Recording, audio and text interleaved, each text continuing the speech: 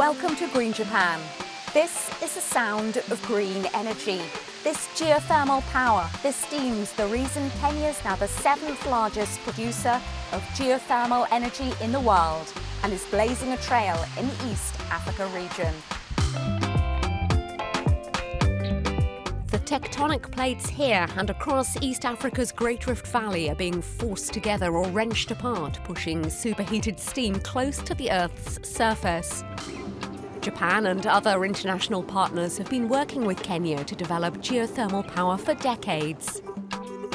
In Olkaria, on the edge of the Hell's Gate National Park, are five power plants which produce around 800 megawatts. That's enough to power more than 4 million homes a year. This geothermal power means Kenya, which also relies on hydroelectric power, can better cope with the effects of climate change. You can see we have a lot of drought, uh, which has been uh, with us for quite some time now, for the last three years. And the country has not felt the impact of the drought in terms of uh, power generation because of the geothermal installed in Kenya. And Olkaria is just the beginning. Our geothermal potential is 10,000 megawatts from 23 sites. What we have installed to date is just from two sites, here in Olkaria and a small plant in Eburu. So we have a huge potential uh, that is largely untapped. Actually, I don't think we have tapped 1%. The Japanese International Cooperation Agency JICA's relationship with Kenya goes back decades. Japan's invested 852 million US dollars in Olkaria. They can utilize their own resources, no need needed import. The geothermal power is very low concerning uh, the price. No emission of the carbon. Geothermal is clean. Geothermal opportunities exist across Africa's Rift Valley. In Ethiopia, a geothermal power plant in the Aluto Langano regions under construction. Ethiopia's main power source, hydroelectrics, become unstable due to the impact of climate change, but it has abundant geothermal potential, approximately 10,000 megawatts of electric power.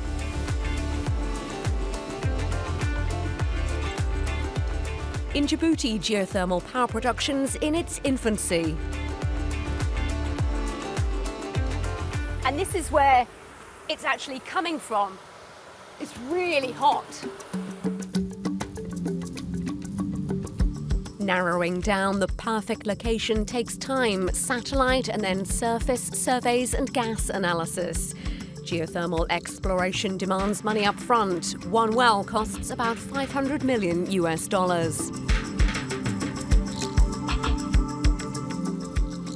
There is about a thousand megawatts of potential in Djibouti, and uh, the current uh, demand for electricity in Djibouti is about several hundred megawatts. So if we can develop uh, about 10, one tenth of the potential, that would be a big impact on the energy mix of this country.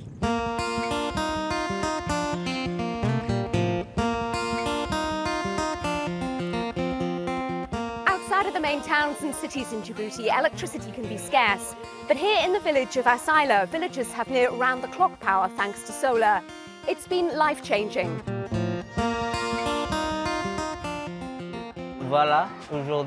Today we have solar electricity. Before it was dark, really dark, and it was hot. We couldn't stay inside and we had to close at 11. Today we stay inside all day. In here there's also a freezer which has water, Coke and Fanta, and we can keep food, meat, chicken, everything.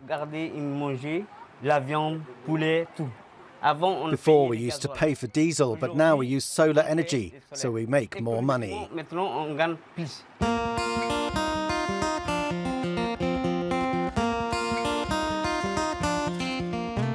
Africa's immense underground heat is driving a green energy revolution, leading country after country down the road to 100% domestically produced renewable energy.